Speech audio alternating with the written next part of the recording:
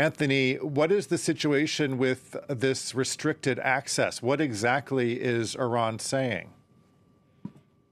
Well, what we know right now is that uh, a three month deal struck between Iran and the International Atomic Energy Agency, which is uh, of course, responsible for monitoring uh, Iran's nuclear activities, that a three month deal between those two has expired, and so far we haven't heard uh, of any indications of an extension or what kind of possible continued monitoring there may be. Right now, Iran is saying uh, that access to surveillance footage uh, of its nuclear sites has effectively been cut. We're expecting to hear from the Director General of the International Atomic Energy Agency uh, later today, but so far there's no indication uh, that the deal uh, is continuing.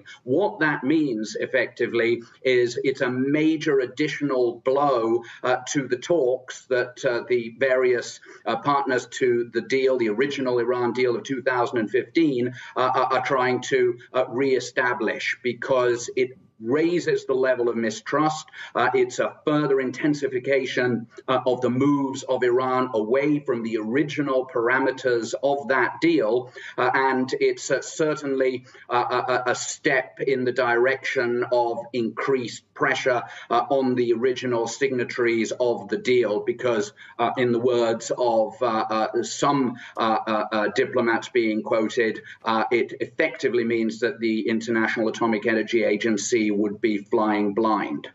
Well, so this all of what you're saying seems to indicate that the window that the U.S. and others have to negotiate a deal appears to be closing even more. What does this say for the prospects of a return to some kind of agreement?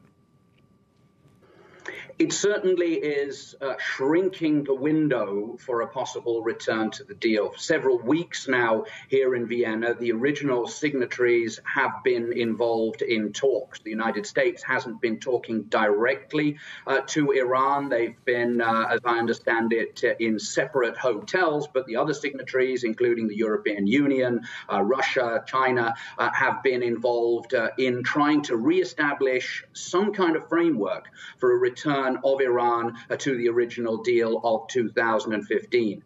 That's been accompanied in recent months by an increase in pressure exerted by Iran uh, on those signatories, uh, specifically, of course, the United States, with Iran continuing to enrich uranium well outside the parameters of the original deal and essentially ramping up the pressure. And the problem is that it's not as simple as saying, well, we're just going to return to that original deal, because a lot has happened since the Trump administration uh, tore it up in 2018. And there are other issues on the table, including, for example, uh, Iran's uh, standard rocket arsenal, uh, these kinds of things. So, an incredibly complex situation. And this has added pressure. It doesn't, though, necessarily mean that these talks are dead in the water. There is a negotiating tactic here on both sides. Uh, Iran saying that it won't return to the deal unless the United States uh, and the other signatories lift sanctions that were reimposed on Iran after Trump tore that deal up. Uh, and at the same time, the United States uh, not wanting to be seen for strategic reasons to be capitulating uh, of sorts. So the talks aren't dead in the water, but the window is shrinking and the pressure is on. Okay, France 24 correspondent Anthony Mills in Vienna. Thanks so much.